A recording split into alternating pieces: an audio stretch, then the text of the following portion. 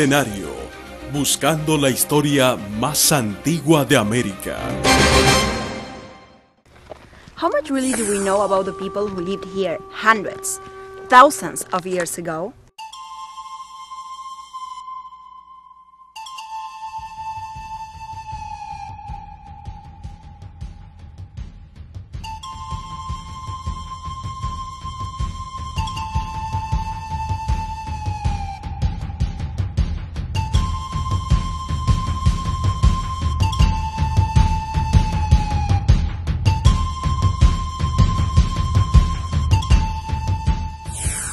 The archaeological remains are everywhere as a part of our daily landscape.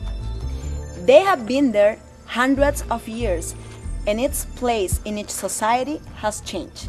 Today, the archaeologists approach them looking for answers. ¿Para qué sirve lo que hago? Siempre me he hecho la pregunta y mucha gente me ha dicho también, ¿y usted para qué está pues buscando piedras, no, escarbando? ¿Para qué sirve eso?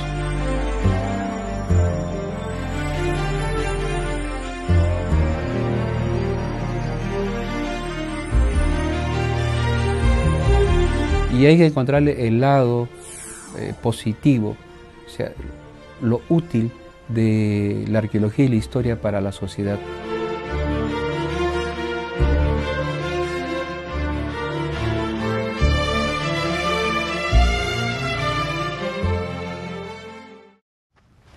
In this country full of wonderful landscapes and cultural treasures, the archaeological sites will reveal us their secret and they will show us the road.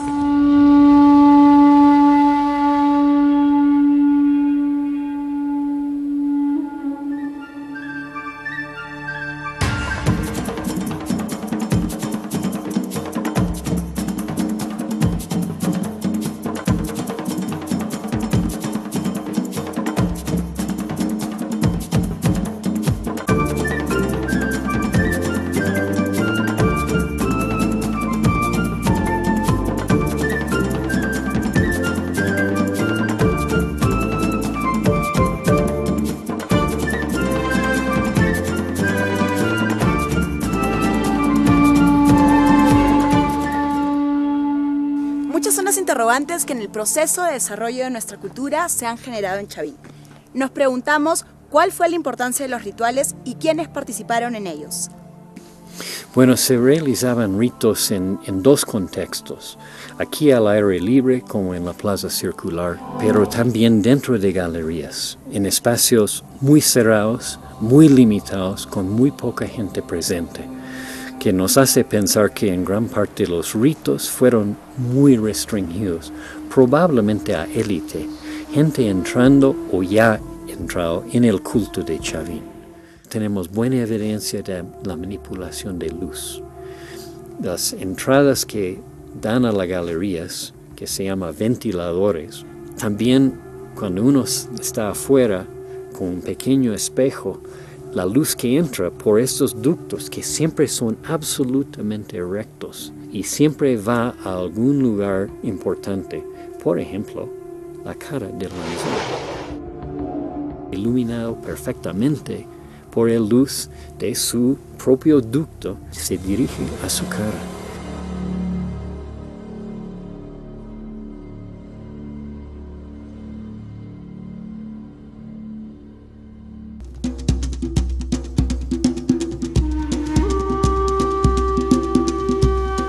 Indudablemente que los incas construyeron el camino inca para administrar eh, todos los grupos étnicos que estuvieron asentados en esta región.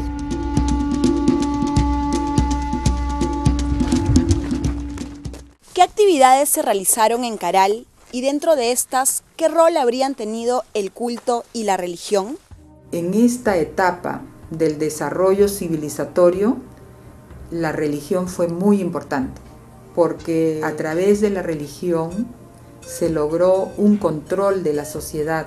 La sociedad estuvo eh, dependiendo de las autoridades que se convirtieron en los intermediarios entre los seres humanos y los dioses.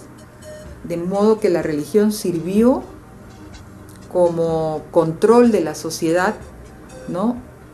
Y también para cohesionarlos a través de ceremonias periódicas, a través del culto periódico que efectuaban, de modo que cumplía una doble función.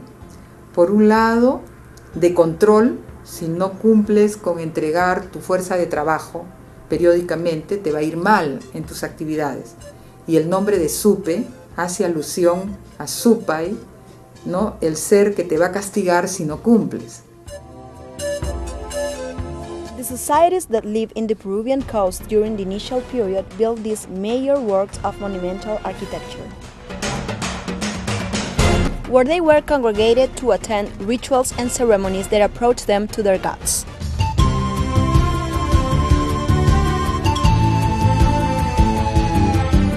Las Aldas, Sechin, Mojeque, and many other sites were witnesses of the life of these groups that relied on agriculture but that also had a vital relationship with the sea.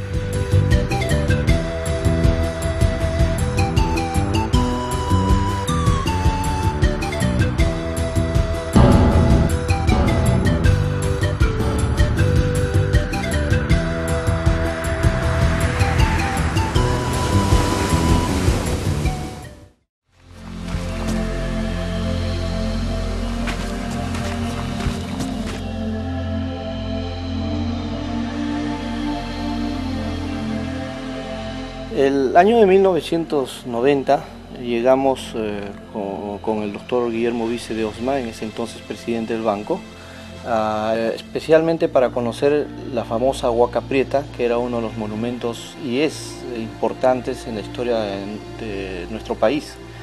Eh, en el camino, por intermedio de un colega de la Universidad de Trujillo, Segundo Vázquez, nos enteramos que un huaquero del pueblo de Magdalena de Cao, que está muy cerca de este complejo, le había dicho de que había encontrado en una de las huacas de este sitio figuras en alto relieve. Figuras de hombres eh, en las paredes. Esto nos motivó demasiado, tanto así de que planificamos venir nuevamente con él al día siguiente. Con este señor, que tiene el nombre de Arturo Carrera, vinimos nuevamente al día siguiente a esta huaca, donde ya estamos 16 años.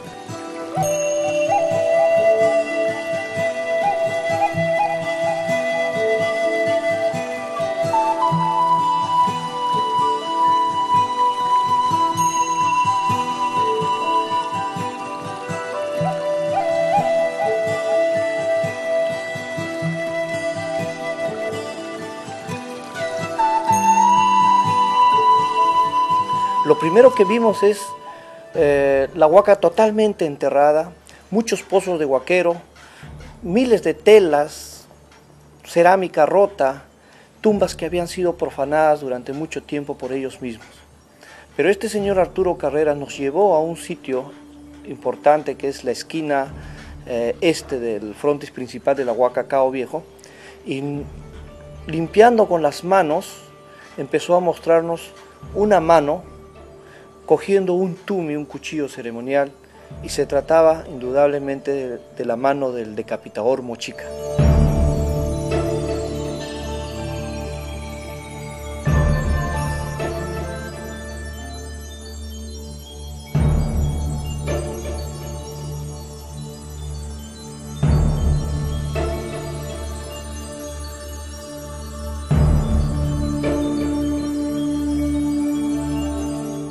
Each week, we will follow their footsteps and we will discover our links with the past in the route of Millennial Peru.